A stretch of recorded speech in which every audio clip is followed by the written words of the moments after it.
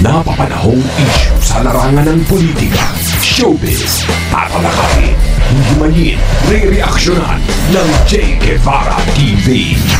J. Guevara TV nga po pala, isang reactor ng mga viral issue na nagaganap dito sa Pilipinas. So what's up po mga kabiyaya, mga ka-DDS, isang mabiyayang araw po sa ating lahat. At eto, I'm back. Back, back, back. Baktul. so ayun no, na bali ah, marami tayong ah, pag-uusapan. Ay, hindi pala marami, hindi pala to live video nga pala. Pag-usapan po natin to. Cubuloy at Duterte vloggers, OA at nananakot na. Naku po, ano na naman kaya nasa utak nitong vlogger na to?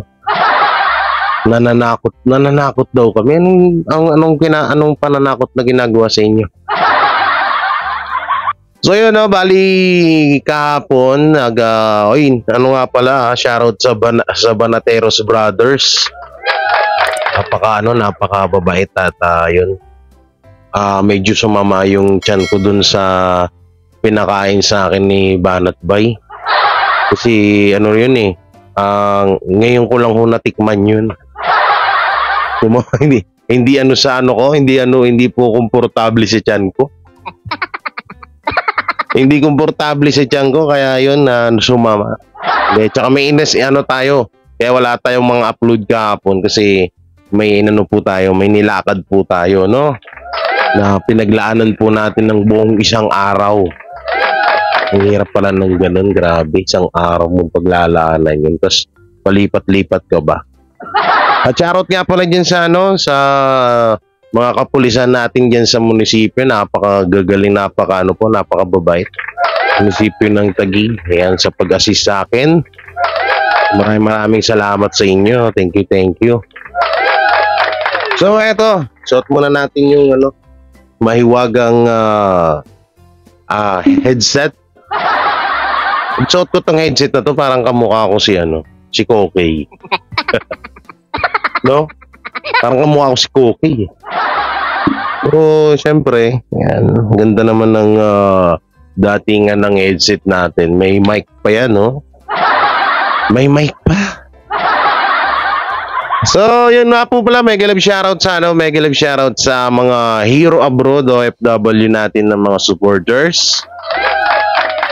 Yan, shoutout din kila Mami Teresa Arong, Mami Rena Baher. Yan, kila Sir Randall and uh, Madam. At sa iba pa. At yun, sa ating mga mahal na, ano dyan, mahal na ah, senior, mga ating mga mahal na senior citizen na patuloy na sumusuporta sa mga DDS vlogger. At uh, may kilag shoutout din po sa, sa mga kasamaan ko ng mga DDS vlogger. Yan, nandiyan sila Master Judea, Spencer, Buster, Jojo, Brother uh, Travelis, ah, Brother uh, Travel, uh, Travelis ba yan? Nakalimutan ko. Yan, nandiyan din ang uh, Banateros, uh, no? Banateros uh, brothers na sila, Coach Oli, Boss Dada, and Banat Bay. Banat Bay, ito na yung best friend mo. ito na yung best friend mo, ho? Ito na, ano na natin? Ah, kapag uusapan na naman natin. Nananakot ka daw, Banat Bay. Ano yung mga pananakot na naman yung mga ano ba nito? Ano naman ba yung mga ka, ka-fake newsan yung mga pinagsasabi nito, no? So, eto. Panoorin natin. Walang iba kundi si yan, si Mike Fake Abe. The fake news peddler. fake news peddler. Oh, marami siya sinasabi kasi dito eh. Okay. Eto, sabi niya, oh, nananakot na daw. Oh, Cubuloy at Duterte, na vlogger, oy, at nananakot na. Aba, aba, naku. Okay, play na natin. Gigil na gigil pa yung mukha, oh. May bago na naman pong uh, panlilinlang, pananakot, Ba, o batikos na rin sa ating gobyerno. naku. Ang tinutukoy ko po ay itong pinapalutang na mga vlogger ng DDS or uh, Duterte Kibuloy Vlogger na sinasabi Doon pa lang sa meaning ng DDS, hindi niya na pala hindi niya pala alam 'yun. Doon pa lang Mike Abe sa sablay sablay ka na. eh. Sabi niya, dito sa mga DDS, yan. ah, Duterte Chubuloy Vlogger. ano ba naman yan Mike Abe? Mali-mali pa. Anong ah, Duterte Chubuloy Vlogger ka dyan? DDS meaning nun is Duterte diehard supporters. Hindi Duterte Kibuloy vlogger. ano ba naman ka fake news? Nag-aatid ka ng ngalan ng fake news. Mali-mali. Nila na wala man declaration ng martial law pero ang galaw daw ay parang martial law dahil iniisa-isa daw Wow. na hulihin, Wow. kasuhan ang mga oposisyon. Nakita mong panlilin lang yan. Hindi nakakaintindi ng rule of law. Wow, ha? Kami pa talaga ang di nakaintindi, nakaintindi, nakaintindi ng rule of law. Bakit, ah, Mike Abe, napaka sobrang talino mo na ba na para ah, mas dihamak na mas magagaling ka? Hindi ikaw na. Tsaka ito pa, yung, kasi dito pinapalabas niya, ay pinapasikat daw di umano ng mga DDS vlogger na etong ginagawa daw ng ah, itong mga pang pag-uusig sa mga partido ng mga or mga op- oposisyon ng mga tao tulad nila Tebes, Kibuloy, Bantag no ay iniisa-isa po daw. Alam nyo una-una, hindi naman po namin yun pinapasikat. Hindi namin yun kinakalat mga para pasikatin yung gano'n, ito ganyan. Tao mismo nag ah, mismo yung mga tao alam nila na talagang ah, ang ginagawa sa kanila ay talagang ah, sobra-sobra na. Yung sis, anong sinasabi mong ano, pinapais ano namin ng martial law, martial law. Eh kita mo, ikaw ata hindi makaintindi. Ikaw ata hindi makaintindi sa mga ano, sa mga sinag, mga sinasabi ng mga kapwa ko DDS vlogger. Eh sana kasi bago ka nagkomento, Mike Abe, di sana inintindi mo muna ng maayos. Okay, tuloy pa natin. Iniimbestigahan ay kung meron nung karapat-dapat na malaman ng mga otoridad. At pagka may ebidensya sa kakakasuhan, hindi ho sinabi dyan oposisyon lang. Ang sinasabi kasi nitong mga Kibuloy Duterte vlogger ay dahil nga daw kinasuhan si Bantag, kinasuhan si Tebes, kinasuhan si Kibuloy. At ngayon, ay di ba, meron din problema si Duterte Oh, eh yun pa lang eh, 'di ba? Eh halata naman puro opisi- ah, opposition yung mga pinupuntirya. saka si Bato yan po sa ICC. Pero anong gagawin natin? Hindi po yan ala martial law. Yan ay rule of law. Kaya para sa aking opinion, o So ibig sabihin kung kung yan ay rule of law, eh paano naman po yung mga katulad niyan ni Franz Castro na may kaso din siya, si Risa Ontiveros meron din po ata. At yung iba pa diyan na may mga kaso na hindi napapansin, eh bakit yun hindi mga na hindi mga na, naiimbestigahan yun? Oo, tapos ngayon parang ang bali-balita nga eh, susunod na tong si Bato de la Rosa at si Tatay Digong gawa nung about daw dun sa war on drug noon. Oo. Eh, eh, eh katulad pala niyan kung halimbawa na, eh, kasi yung pinupunto mo rito parang nagpapakalat kami ng ano eh, ng fake news. Bakit yung secret deal na pinagsasabi mo sa mga Duterte at sa China, at sa China hindi ba fake news 'yon? Eh hanggang ngayon nga wala kang mapakitang ebidensya dun eh. Maayos ka. acting OA itong mga grupo ng OA daw. OA daw at overacting yung mga OA or o yun nga, o yun nga. OA overacting ang mga vlogger ng DDS. Walang nga. Sino kaya OA sa? Sino kaya OA sa, sa amin tsaka ikaw, Mike Abe? Ikaw na hindi makamove on kay Pastor Apollo Kibuloy?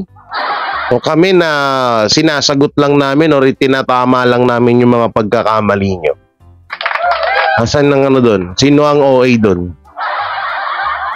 Duterte Kibuloy vlogger. Kasi panlilin lang yan. Oh, yung Abe, meron bang kinasuhan?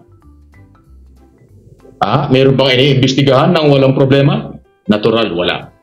Iniimbestigahan si Kibuloy dahil violation ng kanyang SMNI, kaya pinasara. Iniimbestigahan sa Senado dahil mayroong rape case, umano. Si Bantag, iniimbestigahan at may warrant of arrest dahil inaakusahan sa persilapit mabasa case.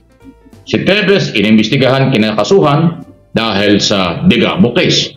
Yan po yung hili, yan ang, si Duterte ay dahil sa human rights violation before OIC, uh, uh, ICC. Yun yan eh. O ano sinasabi nyo alam Marsado? Nakita nyo, kayo lang yung identify na may kaso, may complainant, kaya kayo iniimbestigahan at kakasuhan. Yung ibang sibilyan at mga Pilipinong matitino, walang problema, wala silang investigasyon sa kanila at wala silang kaso. So, Eh paano nga yung iba dyan sa sa kongreso na may mga kaso din? Eh bakit hindi rin iniimbestigahan? Uh, ulit-ulitin ko nga sa'yo, marami dyan. Hindi lang sila Fran, sila Risa ang may mga nakatagong mga kaso dyan. O si ano, si Franz eh talagang may video pa yun. No? Bakit yun hindi na hindi na hindi nasisita? Naging ano pa, naging ah, mambubutas pa. ha? Kaya ikaw Mike Abe, alam mo bago mo muna dapat sabihin yan. Tig tignan mo rin yung naka tignan niyo rin yung mga kasamahan niyo diyan. Oh, kung malinis ba, kung walang record, kung ano ba daw, kung ah, eto ba ay na ah, ah, wala bang tinatago ng mga kaso-kaso niya. Ultimong taong bayan, sila ang mga ang taong bayan po ang nagsasabi na martial law na nga itong ginagawa ng ating ah, gobyerno sa mga laban sa mga oposisyon. No, hindi kaming mga vlogger. Oo, katulad niyan. No, yung mga pinagsasabi mo about sa secret deal na 'yan. Oh, so kami ba nagpakalat 'yan, 'di ba ikaw? So sinasagot lang namin. Pag sinagot namin na ganito ganyan, oh, matatawag mo na ba na martial, ma, na ba yung ginawa namin or sinabi namin sa'yo? Tsaka ito pa, wa- wala akong na, wala akong na, wala akong na, ano, wala akong narinig ng mga, sa mga vlogger na pinupush nila sa mga tao na mag-martial law or, minam, ah, martial law na yung ginagawa ng gobyerno. Kandi, kasi yung, yung mga nanonood, sila mismo yung nagsasabi na martial law na nga to. At mainit ang gobyerno sa mga oposisyon. Una-una, kasi una-una mga kadikit yan ng, ah, ng mga Duterte. Yan, sila Bantag, sila Tebes, Kibuloy. 'Di ba? Kaya nga sabi namin, eh paano na lang pala kung naging ano, naging kakampi ni si Pastor Apollo Kibuloy ay nasa panig ng ating Pangulo. Kakasuhan pa kaya? Ayun yung mga katanungan dun. Meron pa nga dyan, di ba? Yung anak niya na parang nahulihan na ata ng ay, pinagbabawal na na halaman. Oo, ng Marie. Tapos ang nangyari, parang nabal, na bigla agad natulog yung kaso. Ewan ko lang ah, parang may nabalitaan ako dati nun. Comment nyo na lang dyan. 'Di ba? May ano diyan, may nasa gobyerno diyan na dati nahuli yung anak ay nahulihan ng ah, marijuanas. Tapos bigla na lang din nawala yung kaso na yun. Ayun, bakit hindi inuungkat yun? Bakit hindi na pag-uusapan yun dyan kung talagang ano? Bakit tsaka kung di ka ba namang ah, tanga Mike Abe?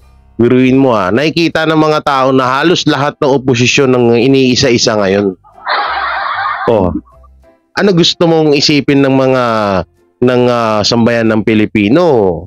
Hindi hindi martial law yan ba? Hindi ba martial law yan? Raulo din to eh, no?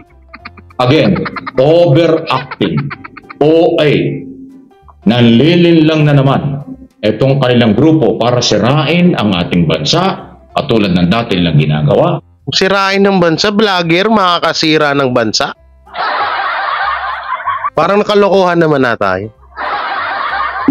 Maaari kayo, kayong mga tanso, ah, tanso dugyot vlogger. Maaari kayo na kayo talaga yung makasira sa bansa. Pero DDS vlogger, ma- malabo eh. Oo, nauna. Na, andyan sa, andyan sa inyo si Nino Barsaga. Isa sa mga napakabastos at balasubas ang bunganga. Halos lahat nga kayo ng mga vlogger, puro mga ano eh, mga tanso vlogger, puro mga balasubas at ah, pang personal yung banat nyo sa mga sa mga ano lalo na kaila sa sa mag-amang Duterte, 'di ba? So sino kaya ang mas mo ang ma- ano ang makakasira ng bansa natin? Ang tanso vlogger, ang tanso dugyot vlogger ba? Na kasama diyan si Mike Abe o ang DDS vlogger? Tsaka dito ah, nakita nyo ba na minura, nar- narinig nyo ba, iniisa sa mga vlogger ng Duterte, narinig nyo ba sa kanila na minura nila si President Bongbong Marcos? Narinig nyo ba na na pinagmumura nila? Oo. Di ba wala? Sa inyo lang yun. Sa mga tanso dugyot vlogger lang yun. Minumura nila si BP Sara, si Vice President Sara Duterte. Minumura nila si Rodrigo Duterte, si Tatay Digong. Minumura nila si Basti Duterte. 'Di ba? O katulad niyan kay ano, kay uh, Cubuloy, tatawagin na manyak. Kay ganyan, bastos, ano daw, ah, ano ba yung ibang makapal ng mukha? Demonyo. Ha? Sa amin dito wala kayong maririnig na ganyan na yung mga katulad niyan nila ano, nila nila pangulong ah, nila ah, BBM never namin yung minura never nyo wala kayong narinig sa mga kapwa ko vlogger na ah, talagang binalasubas nila yan sa inyo yung mga tanso dugyot vlogger ang mahilig mambalasubas sa mga Duterte ngayon sino kaya ang mas makakasira ng bansa kayo ng mga tanso vlogger o kami kami nga eh ni, ni isang ah, masabihan nga lang naming kuting si si kuting si Pangulong Bongbong Marcos di nga ninyo marinig. Ah, eh kayo nga puro kayo China, China, China. Nililito nyo yung mga kaisipan ng tao. Nililito, nilil, nililito nyo yung mga viewers nyo, yung utak nila, nilalason nyo. Nakisyo ang Duterte daw ay nakipag-deal sa China, may secret deal. Hanggang ngayon, wala ka naman may pakita na ebidensya. Hanggang ngayon, naghahanap kami ng ebidensya na ipakita mo, wala pa rin, nga nga pa rin. Oh, anong sinasabi mong mga ano diyan? Ano yung sinasabi mo na paninira at makakasira sa bayan? Walang yan nga, ikaw nga, ang, ang dami-dami mong vlog araw-araw. Puro ka dakdak about sa secret deal. Hanggang ngayon, wala ka naman may ipakita na ebidensya. E di sana naniniwala kami na ito. Ito yung video. Ito yung kasulatan ng secret deal nila. Wala, wala kang mapakita kasi wala naman talaga. Bukang bibig mo lang yan. Oh. Ang, ang, ang strategy po kasi ng mga katulad ni Mike Abe na mga tansudog youth vlogger, ano po yan eh, ah, ang ginagawa nila, lasunin ng lasunin ng kaisipan ng mga tao. Ayun yung ginagawa ho nila. Lalasunin ng lalasunin yung utak ng mga tao hanggang sa gusto na gusto kasi nila mangyari, yung mga tao ay magalit sa mga Duterte. Magalit sa mga vlogger ng Duterte. Samantalang kami dito, kaya lang naman kami din nandito is ah sino hinaharang namin or sinusupalpal po namin yung mga fake news katulad nung pa-fake news lagi ni Coach Janet, ni Maring Janet, ni Mike Abe, ni Katunying. Kaya yung mga pa-fake news nila. Ayun yung mga sinusupalpal namin dito. Ayun yung mga inaharang namin, iti itinatama namin. Uh, pa, pa, pansinin nyo sa mga content nila. Puro sila mga ka-fake newsan. Wala lang lalo to si Mike Abe. Tagal-tagal mo na nagbablog hanggang ngayon wala ka pa rin mapakita ebidensya dyan sa secret deal na yan. Tapos ililiis ka, bakit Bakit walang pag ano, walang ah, walang ah, walang mensahe ang ating ah, vice presidente na si BP Sara or si Tatay Digong about sa pambubuli ng China sa mga ano. Kahit kami, hindi rin namin gusto yun ha, yung nakikita namin na binobomba. Yung durug, yung sira-sirang ano, yung lumang bangka. No, eh, kahit kami, tin, ano rin yun, ah, nasasaktan kami na ginagawa sa kanila yun. Ano, tsaka sasabihin nyo, porket nag-ano ka, porket Duterte vlogger, pro-China na. Bobo ka ba? Okay, tuloy pa natin. at sirain ang imahe ng ating gobyerno dahil pinapalabas nila ay martial law. Kaya ingat po kayo sa ganyang klase mga tao. Mas mag-ingat kayo kay Mike Abe. Mas mag-ingat, mas mag-ingat po kayo sa katulad ni Mike Abe kasi hanggang ngayon wala puro dadak, puro dakdak lang na kay ito, kay ganyan, China, Duterte, China, Duterte, secret deal, secret deal. Hanggang ngayon walang mapakita ebidensya. Eh buti pa ako nung ano, buti pa pala ako nung ah, nagpakita ako ng ah, ah, tawag dito, nagpakita ako ng ebidensya about dun sa ah, Tansu Dugyot vlogger na ano, na nang re-recruit sila ng mga ba, ng mga vlogger at binabayaran nila may pinap may napakita akong ebidensya sa inyo. Eh ito, ang tagal-tagal na yung secret deal na yan. Hanggang ngayon, wala pa rin naman, wala pa rin naman ako marinig. Hanggang ngayon, wala. Wala yung secret deal. Ewan ko, nasan na? Tsaka ano sinasabi mong sinisiraan namin ng gobyerno? Hindi ah, never. Dahil matagal nang si, mar- sila mismo ang sumisira sa kanila.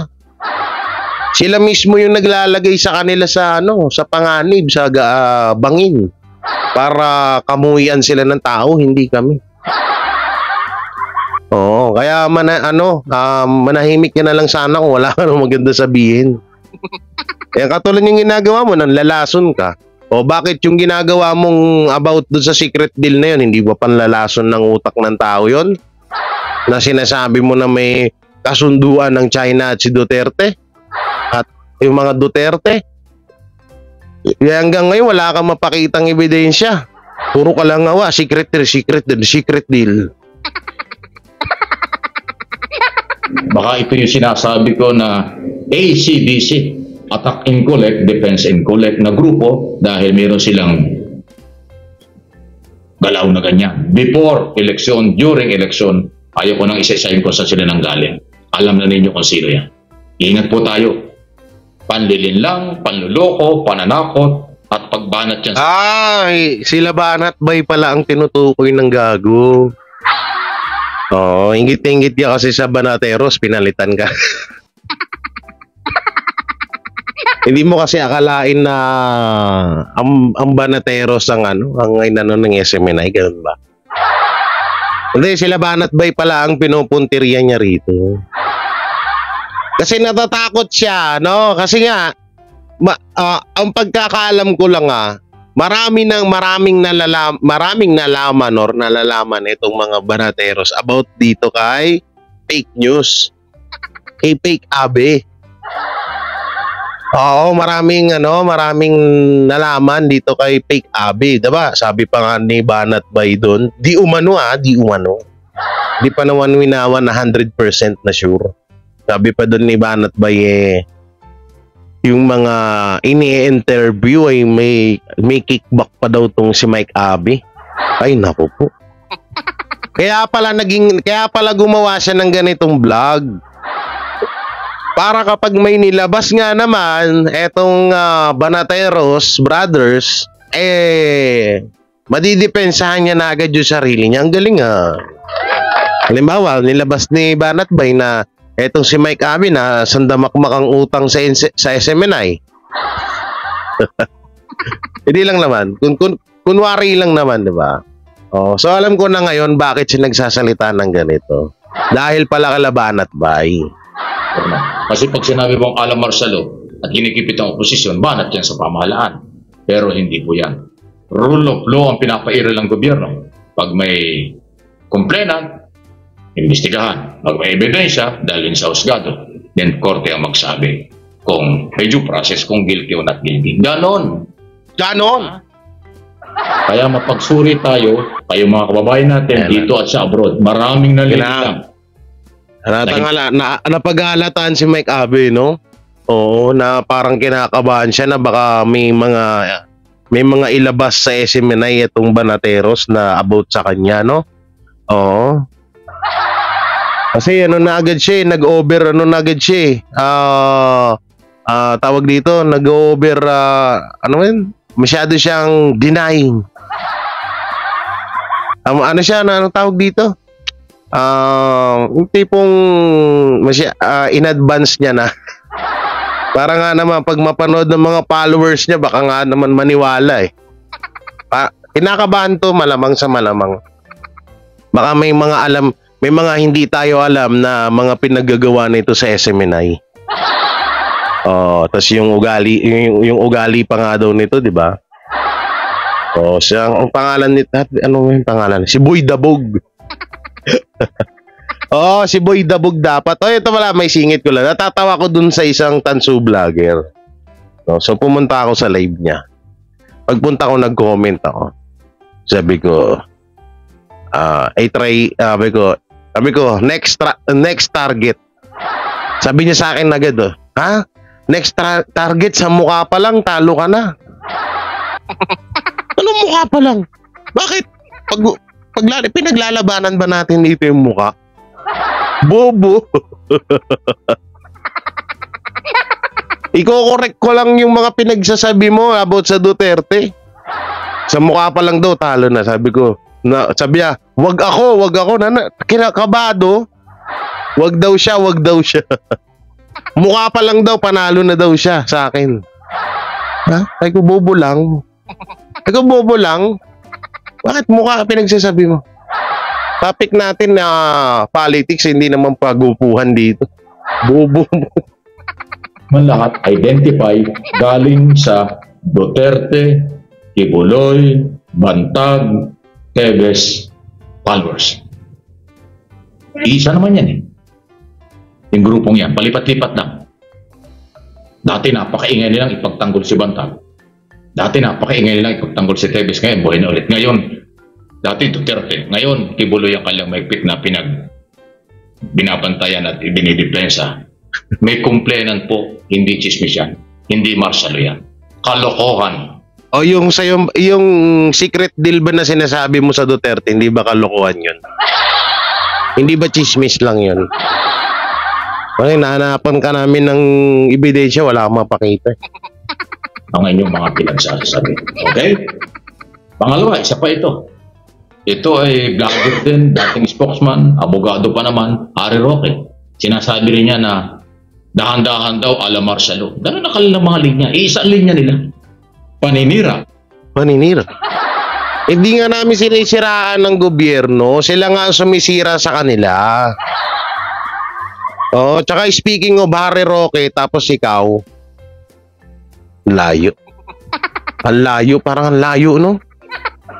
Parang ano eh, parang malayo sa katotohanan. Halimbawa, magdedebate itong si Mike Abe at ah, attorney ah, Harry Roque. Mamumulubi to. Eh, ito, fake, fake attorney naman to eh. Fake attorney, eh si Mike Abe talaga, ah, si ano eh, si Harry Roque talagang ah, alam nating attorney yan at hindi basta-basta ang attorney yan. sa gobyerno. Isang linya nila. Ah. Gusto nila laging dahil doon sa panggigipit sa SMA na kikibuloy ano ay endo ala Marcelo.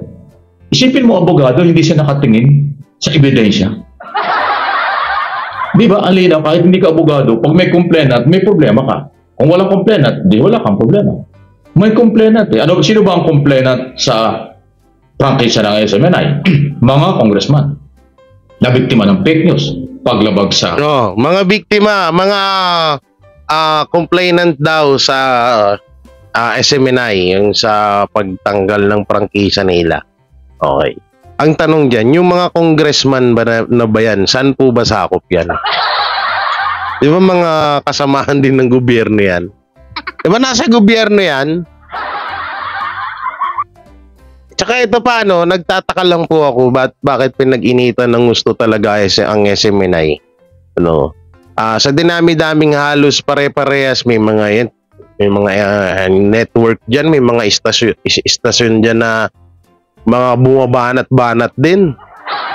No, may mga bumabanat-banat din diyan. Tapos may iba pa nga dyan na pag ano na fake news yung, or ah, maling balita. Fake news na balita yung hinahatid nila. Na, nag-viral pa nga dati yun. Pero bakit hindi yun si eh, bakit hindi din pinagtunan ng pansin yun? ang size law. O, kongreso, congressman ang complainant. Hindi mo alam yon Attorney Roque? Sa Senado, sino ba ang complainant sa hearing? Di ba mga dating member Oh, yun mo lahat ng sinasabi mo nasa gobyerno yan mga yan. Mga kakampi nyo lahat yan. Paano yun? Eh, so ibig sabihin pala kahit kapag ah, kapag may complainant at ah, lalo na sa gobyerno, ibig sabihin tama na sila. Eh, ibig sabihin maniniwala na kami lahat. Dahil syempre nasa gobyerno eh. Ha, ganun ba ang ibig mong sabihin, Mike? ah, Mike fake news? Si Boy Dabog. Panood ko yun eh. Pak, ginano, no? Galit na galit siya ba? di umano'y biktima.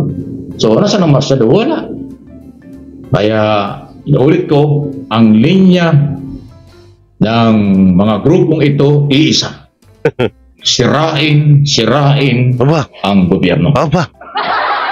Palabasing masama ang gobyerno sa international community.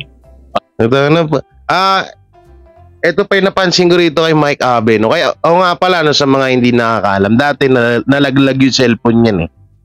Parang bumaliktad na ganun. Ano pala yan, may binabasa. Kaya pala hanggang dito lagi lang yung ano niyan. Hanggang dito lang lagi yung background niya hanggang sa ilalim ng baba. Kasi nga, hawak-hawak niya yung papel na binabasa niya. eh, mapapansin nyo naman eh. Na may binabasa siya eh. Oo. Sa totosin, hindi lang kita dun sa salamin niya. Pero tignan nyo, pag nagsuot na ibang salamin yan, pa, kitang-kita na may binabasa yan. Pala, pala, pala, palabasin ang gobyerno Oh, ay hindi makatao. Nagkakamali po kayo. Kasi kung kayo ang mga nakikinig at nanonood may pagmamahal sa bayan at alam nyo, ang nagbabasa siya eh. alam nyo ang mga nagsisinungaling. Sa makakita na nagbablog nakatingin dun, no? Alam niyo po, ah, oh, oh, ito ah, sample ah, parang ito. Halimbawa, nandito yung papel ko nasa ilalim ng cellphone. Ah, mga maninira sa ating gobyerno. Di ba sagwadong ka nakatingin sa baba? Di mo siya, o ganun, no? Paninira. At alam din nyo ang may paninindigan Oh, siya nakatingin sa gilid, ng oh. totoo sa ating bansa Oh. at sa ating Pangulo at sa mga Pilipino. Sino kaya kausap niya doon sa gilid, no? Okay? Okay? Ako, sinasabi ko ito, may karapatan ako sa mga opinion, interpretation ng mga pinagkakalingan ng impormasyon. Oh. So ibig sabihin karapatan din. Oh, yun naman pala edi edi may karapatan din yung mga vlogger na magbigay ng opinion nila. Eh bakit bakit parang natatakot ka? O halimbawa, nagbigay ako no eh, ito ngayon vlog ko, nagbigay ako ng opinion kung nasan na ba yung sinasabi mong about dun sa secret deal. Nasaan na yung ah, ebidensya? Oh. So karapatan namin din 'yun, 'di ba? Ikaw na mismo nagsabi. Kaliwanag oh. Yan ang fake news. Sinasabi lang nila fake news. Ano daw ano daw? Sabi ko ito, may karapatan ako sa mga opinion, Oo. interpretation Oo. ng mga pinagkakalingan ng impormasyon. Mm. Ayaw natin ng fake news. Sinasabi lang Ayaw mo ng fake news pero ikaw gumagawa ng fake news. Eh hanggang ngayon inaantay natin inaantay namin yung secret deal na ebidensya mo. Hanggang ngayon baka matapos lang tong taon na to baka baka kapag hanggang ma- maging presidente na itong si BP Sara eh wala ka pa rin mapakitang ah, ebidensya about sa secret deal ng China at ni Tatay Digong or ni Rodrigo Duterte. Ayaw daw sa fake news. Shit! Ayaw mo sa fake, ayaw mo sa fake news pero ikaw gumagawa. Ob, ob lang. Oo, no, grabe si Mike Abe, no. Oh, tsaka wala wala alam niyo wala akong believe sa mga ganitong mga vlogger yung may mga script script. mga binabasa. Yung tipong, yung tipong nagsasalita, tapos doon nakatingin doon. Alam nyo, yung mga ganyan kasi sa secret deal ni Duterte. Magtanga lang, di ba? Nagbablog dito nakatingin doon. Eh, ito yung camera mo kasi nga may binabasa. Yan yung ano, yung mga vlogger na mukhang matatalino pero wala naman talaga. so yan mga kabiyaya, mga kadidies, anong masasabi nyo at magiging komento nyo sa pinagsasabi ni ah, Mike Fake News Abe. I-comment nyo lang po dyan sa baba at syempre don't forget to like, share, comment, and subscribe sa ating YouTube channel at pakipindot na lang din po yung bell button para lagi tayong updated sa ating mga video araw-araw. Mhm. At ayun, ulitin ko, mega love shoutout sa mga OFW Hero Abroad na sumusuporta sa atin. Sa mga gusto po palang magpa shoutout diyan, mag, maglalagay ako ng ah, ah, ng ano, ng ah, tawag dito, ng post sa aking com- community tapos doon na lang kayo maglagay yan. Lagay niyo yung pangalan doon na ah, from ganito, from ganyan, shoutout gay ganito, ganito ganyan. Ah, para ano kasi mga yung iba kasi nagtatampo pag hindi natin masyadong na shoutout sa ano sa live kasi minsan nalangan naman na puro shoutout lang tayo sa live tapos wala na tayong topic, di ba? Uubos yung oras natin doon.